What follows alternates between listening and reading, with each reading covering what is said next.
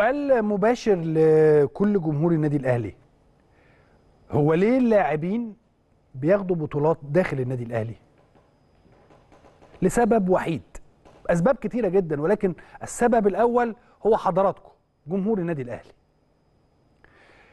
وصدقوني الكلام اللي أنا بقوله لحضراتكم ده أنا بقوله من قلبي. أنا ش... أنا برضو كنت أنا آسف إن أنا بقول أنا كل شوية لكن أنا كنت من الجيل المحظوظ اللي حضر الجمهور في الملعب. جمهور النادي الأهلي تحديدا في الملعب.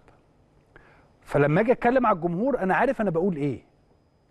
أنا ببقى عارف إن أنا وأنا تعبان وعندي تعبان بنسبة فاضل لي 10 15% مثلا هم اللي قادر أجري بيهم في آخر 10 دقائق أو آخر ربع ساعة. الجمهور لما كان بينده عليا وأنا على الخط كان ال 10 15% دول والله العظيم ثلاثة كانوا بيبقوا 70 80% مش هقول لكم 100% فالجمهور هو الشيء الأساسي خلال هذه الفترة أو هو العامل الأساسي خلال هذه الفترة. مش الفترة دي بس كل الفترات ولكن الفترة الأهم بيكون فيها السند والدعم في كل شيء كالعادة. الاهلي علمنا إن إحنا ما بندفنش رأسنا في الرمل. وبالمناسبة من صاحب هذه النظرية؟ هو جمهور الأهلي. جمهور الأهلي دلوقتي على ال social media أو في أي مكان تلاقيهم بيعملوا إيه؟ بينتقدوا. بيقول لك أنت عندك الغلط في كذا وفي كذا وفي كذا وفي كذا.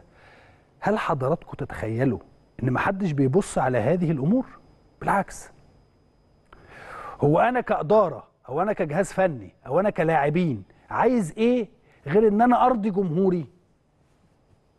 الجمهور اللي له كل شيء جيد. ولا حاجة. أنا يعني أنا لو واحد من الناس أنا عايز أرضي الجمهور مش عايز حاجة تانية. فبالتالي رأي الجمهور مهم جدا. ولكن هناك دي حاجة بقى داخلية. هناك بعض الأمور اللي ما ينفعش تطلع على العلن. ما حدش بيشوفها غير لما بتصدر. وده الإدارات بتعمل كده وبيحصل داخلها كده. فجمهور الأهلي دائما بيكون الشريك الأول والرئيسي في كل نجاحات النادي. دي مش كلمتي بالمناسبة. دي كلمة كابتن محمود الخطيب في أي مكان وفي أي مؤتمر أو في أي مكان هو بيتكلم فيه. الجمهور اللي من حقه يعبر عن زعله.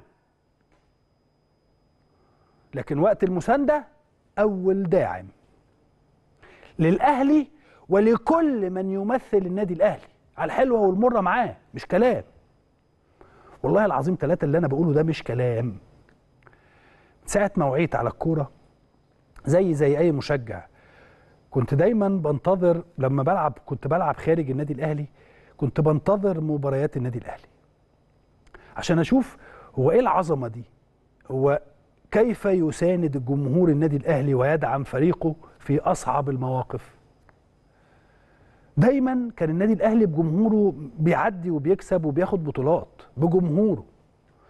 طول ما الجمهور العظيم ده داعم ومساند هيفضل النادي الأهلي ياخد بطولات ويحقق إنجازات. حتى لو لا قدر الله خرجنا من هذه البطولة. على الرغم معلش بين قوسين هقولها كل شوية لأن الناس بتجتزئ نص كلامي أو أقل من نص كلامي وبتاخد النص اللي هي عايزاه وتمشي في الاتجاه اللي هي عايزاه. ولكن خليني أقول حتى لو كانت خسارة بطولة مش نهاية العالم ولكن بتكلم على البطولة اللي إحنا فيها دي هذه البطولة تحديدا وهذه المباراة تحديدا سواء صعدنا أو لم نصعد سيكون هناك حساب لكل من قصر في حق النادي الأهلي.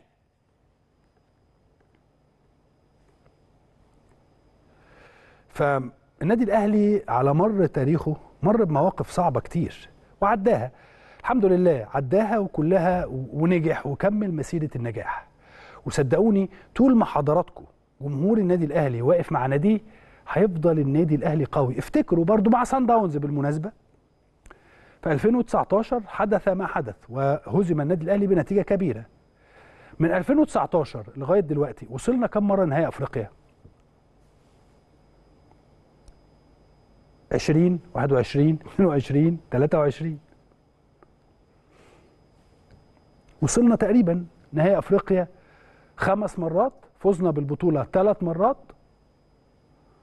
آه، فزنا بثالث العالم مرتين. فمهما كانت التحديات ومهما كانت الظروف القو- القوة القوة إنك تقدر تقف وترجع مرة تانية.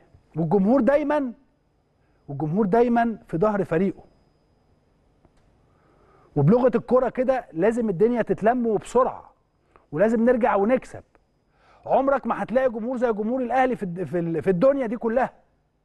يزعل ويعاتب آه لكن دايما آه، في ظهر فريقه داعم ومساند كبير وسيظل دائما جمهور النادي الأهلي بهذا ال- الدعم والسند.